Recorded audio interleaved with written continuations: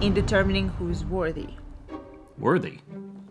Worthy enough to take his place by my side. This isn't a dating service.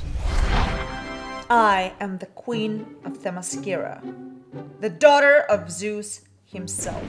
I do not date.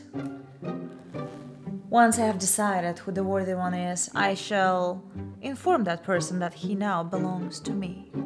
That's not really how this works. Although, um, have you considered Superman or Batman? It's complicated. Okay. Um, well, if you're talking about strength, um, there's always Hercules. Ew. Half brother? Uh, yeah. Um, Shazam. He's 15. Besides, whoever I choose as the worthy one has to possess a strength of spirit. It's a pretty broad definition. Um, what about Green Lantern? Too arrogant. The Flash? Too fast. The Atom? Too small. Right. Um, Booster Gold? Please. Uh, Mr. Mxyzptlk. The imp?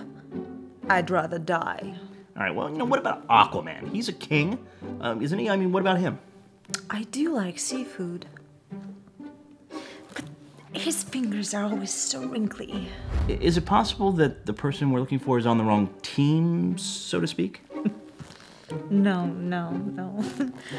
I went through that phase in college.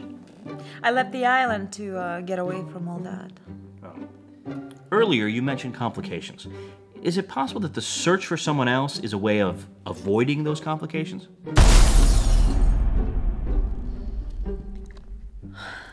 Perhaps. What about Batman then? He shares your obsession with justice. I fear I would break him.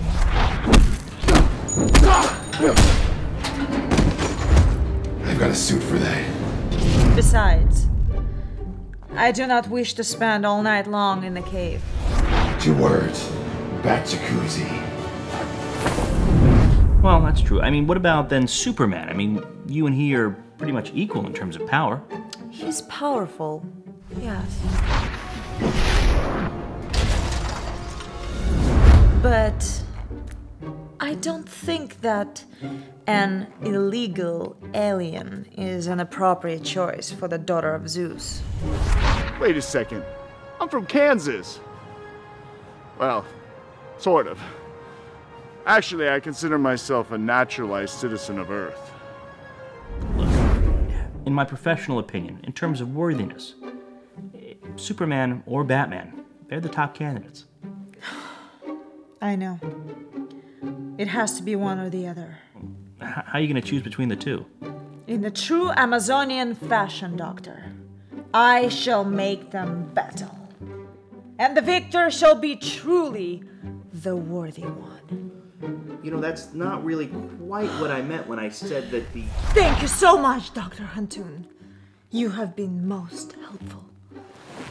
That's not really what. Okay. Yeah, uh. Janet, you'd better go ahead and cancel my 5 o'clock with Superman. And he's gonna be busy. And uh, go ahead and send him my next client.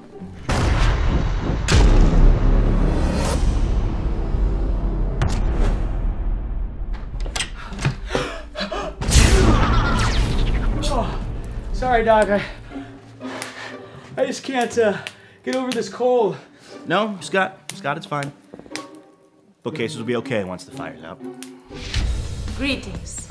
We hope you enjoyed today's episode. Please don't forget to subscribe, And also, don't forget to like. comment. And share. Um, you know, we really appreciate your support. So please check out uh, some of our other work. We've got uh, this really cool show, Six Feet Down Under, which is gonna be right there. I think I'm gonna we're gonna have previous episodes somewhere like right here, or maybe up here. I'm not sure exactly. But also, if you dug the uh, costumes that we used today, check out this awesome Wonder Woman by Logan Props, and be sure to check them out at thejimlogan.com. Don't forget And we'll- the sword. Yeah, we'll have a link somewhere for that. Oh yeah, and this look at this sword, pretty awesome. Power Loader cosplay by Dustin Kiska. Thank. Thanks, Dustin, for providing the sword. Yeah, It's thanks so much. And uh, yeah, so thanks guys for all the support, and please tune in for the next episode. See you next time. Love you.